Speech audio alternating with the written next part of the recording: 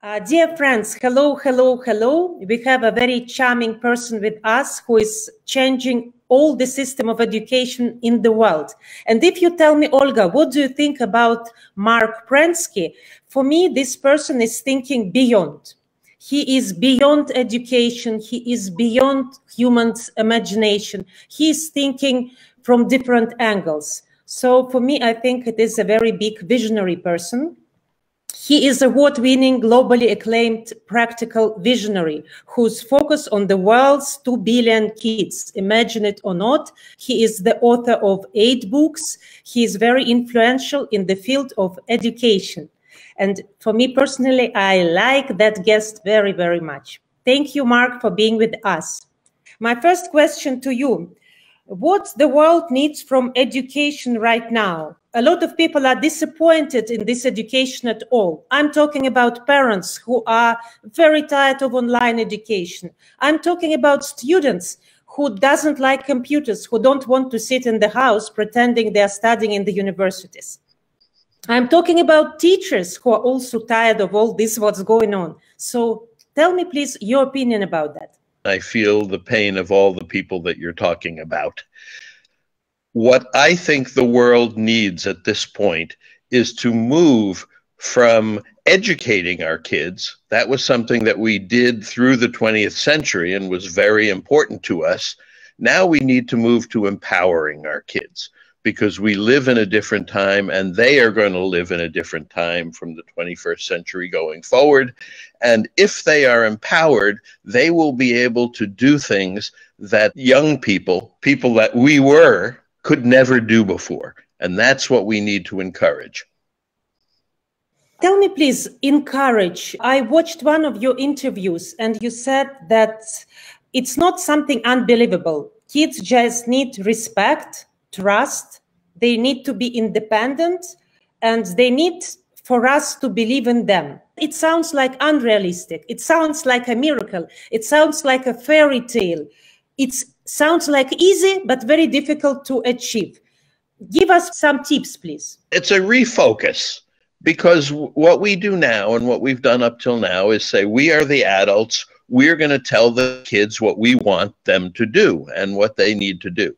The refocus is to say the kids who now have new powers, new technology, and especially new beliefs can tell us what's needed. We can work together to help them accomplish things that make their world a lot better. And there are three steps to that. We can first help them find out who they are, which we don't do a very good job of today. We can say, What are your dreams? What are your concerns? What are your passions? What are your strengths? And how are you unique? The second thing that we can do is then apply that to real world problems, to making the world a better place. We can do that through projects while they're young in something called empowerment hubs, and we can do it to helping them find meaningful work as they get older. And finally, we can help them realize their dreams, not our dreams, but their dreams for what the world should be. You mentioned the word project, and I noticed that in many of your interviews and articles, you mentioned this word project, project, project. You say that kids, they cannot learn by books. They can learn, they cannot learn sitting and being lectured. Why projects are that important? The goal is accomplishment. Learning is important, but it's not the goal. The goal is accomplishment. That's really a big switch. And in order to accomplish, you need something to accomplish, which means you've got to figure out some kind of project which makes your world better as you see it. It could be your local world, it could be your country, it could be the whole world, but you have to decide what to do that will make something better as opposed to sitting in a classroom and receiving what everybody says you needed from the past the switch. From the past you had to learn learn learn learn learn and then when you were an adult eventually you could do things. That's not true anymore. Now you can start doing things and in the process you learn the things you need not all the preparation that we have decided you need in advance You think that we should be more practical. They should do something with their hands. They should think how they can use their talents to do some concrete projects that will empower kids. And actually, I think we can also use that for ourselves by doing projects. We can fulfill our mission. Is it something like this? Yes, it is. And the word practical unfortunately, has gotten a bad connotation. So you say practical, and then you think about technical schools and you think about lesser people. But the whole world learns in order to accomplish. Nobody cares that Elon Musk learned a lot about rocketry. He learned that because he wants us to go to Mars. And that is the important goal that he keeps in mind. It's not the learning. That was the big mistake of 20th century education. They made it all about the learning. In the 21st century and going forward, it's going to be all about the accomplishment. And this is not just at low levels, this is for everybody, even the highest levels, such as Elon Musk. I see. So let's say if we talk about the gardener who is taking care about the plants, you don't care how many years he studied about that plants to take care about them. You just care can he do it? Can he take care of his roses? Will these roses grow or they will die? It, to say it in a very easy words is it something like that? That's the goal. We need good thriving roses now along the way he may need to learn some things about plant food and what and roses and things like that but he or she needs to be looking at the goal of saying we need good, thriving roses, not I need to learn a whole bunch of stuff. I see, because maybe even you can learn 100 years, but if you cannot accomplish anything, it is just the process, and this process is not accomplished. And it's just for you. I call that an achievement. You can achieve lots of things. You can become the valedictorian of your school. You can get prizes, but those are for you accomplishment is for you and other people so that at least one other person benefits from the fact that you are on this planet. So it's all about us and about connecting the worlds and connecting the people. Then it's become for everybody and then it's become precious. And the interesting thing is, this is the first generation that is connected across the planet and it's going to increase and increase and increase. So now we don't have to have schools locally. We can have empowerment hubs that bring in kids from all over the world that have similar interests. It's the first time that we have a horizontal look at all 2 billion of the world's kids. You wrote a book, and it's called uh, not only a book, you are actually the author of the new terminology that never existed in this world before, and it is called digital native. You talk about digital native uh, people. These are the kids who cannot imagine their life without, without technology. Who are these digital natives? That was 20 years ago and it's only increased. And what I see happening is that humans are becoming, at different rates in different places, symbiotic human hybrids. So part of us is machine like, and part of us is biologically human like. And the real challenge that we have in the 21st century with our kids is to put those together in a wise and useful way. Is it possible to exclude the teacher because of uh, AI and because of all, of all the robotics? Maybe we don't need educate, educators and teachers anymore. I think kids need adults. They will always need adults for guidance. I love teachers and they are wonderful people but they are now in a dying profession. The problem is that putting information into kids' heads needed a person in the past, and now YouTube can do it almost as well. And so we need a new role for the people who want to help kids. And that role, much more of a guide. We need to guide kids to self understanding, which we don't do well. We need to guide kids in their projects so that they can accomplish what they want to accomplish. That's a great role for adults, but it's not the traditional teacher's role. Marc, in the beginning of the interview, you said that this is the new generation and that you, they can do something new that me and you possibly doesn't know how to do. What is that? What you're talking about? if you are a kid today and you have access to technology, then you can complete projects. There's a lists and there are databases all over the internet that I can point people to of things that kids have done. Kids have been diagnosing disease. Kids have been looking at pollution and trying to clean it up and working to do this and having success at doing this. But it's not only the technology, it's also the belief that they can.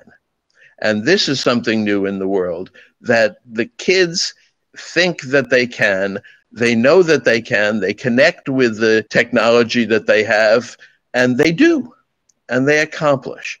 And because our kids know that they can accomplish, or they hear about it, or they see it on TV, or they see it on YouTube, or wherever it is, or they just talk to each other about it, they want to accomplish.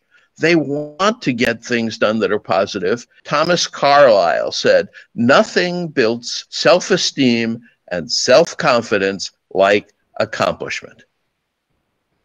So you think that the new generation of these kids who are connected with the technology, they have better self-esteem and self-confidence because they can accomplish projects? I think that's what we should strive to make happen. I'm writing a new book, which is now I decided it's going to be two books. One for the adults is going to be called Empower Them Now. And the one for the kids is going to be called Empower Yourself Now. And hopefully, we'll sell those in uh, to families so they can both read them and to schools so that the kids know what they can do and what they should do. And the adults know how best to help the kids do it. So, in a way, but by these two books, you're aiming to help both. You want to help parents to find the, the bridge to the kids, and you want to help kids how to find the way to empower themselves, even without parents, if parents have some hesitations. You said at the beginning that everybody is feeling the pain that the parents are feeling the pain, the teachers are feeling the pain, and the kids are feeling the pain. And of course, then the politicians are feeling the pain because they hear from everybody. So, this is a way for us all to move forward and for us all to work together. If we had something called empowerment hubs in the world, in addition to or instead of schools, then our kids could go there and accomplish the parents and the teachers and the adults can all help the kids become more empowered and everybody will benefit. Marc, how are you planning to, to build this empowerment uh, hubs? I'm now get very interested in that. What is your plan? Are you going to build like Elon Musk, the spaceship with this hub, or it will be everywhere? What is the plan? People already are building them. They just don't call them necessarily empowerment hubs. I can point to, to people in Dubai, in probably Moscow, in, in Europe, in America, in Asia, who are already doing things where kids do primarily projects and feel empowered. What I'm trying to do is unite these into a movement that gives a parent a choice. So they don't have to send their kid to 20th century school anymore. We all know that that is fading and it's not doing the job we want it to do. But we can do the job we want to do with empowerment hubs. This is actually very interesting. And my last question to you Do we need a lot of educated people? Because now these educated people cannot find a job at all. What we need is empowered people. And those people not, don't just find jobs, they create jobs. They figure out where they can contribute and how they can contribute. And they get together with people from around the world in teams and they start doing this. We don't know how income is going to come in the future, but we know that it will still be work that is meaningful to you. Marc, um, yes, it was my last question, and now it's really last, last question. Why are you so optimistic? I can see that your mood is good and that you're feeling that there is a very nice outcome. I think that's why you're creating books. That's why you are thinking about parents and about kids. That's why you like educa- education. What is the source of your optimism? I love kids. And what I think has been missing is that nobody looks at a kid and says, You are a special, unique individual, and I can help develop you to be the person that you should be. And that's where we need to go in the future. And if we do that, and if our teachers do that, our parents do that, the results will be enormous because the kids will all feel empowered and feel like they can accomplish things. And the adults will say, Oh, look at them just like every parent now that I meet looks at their kid and they say, Let me tell you about the wonderful thing my kid has been able to do. I'm so shocked. Well, why are we shocked? We're shocked because we couldn't do it, but they can, and we need to empower them to be able to do this.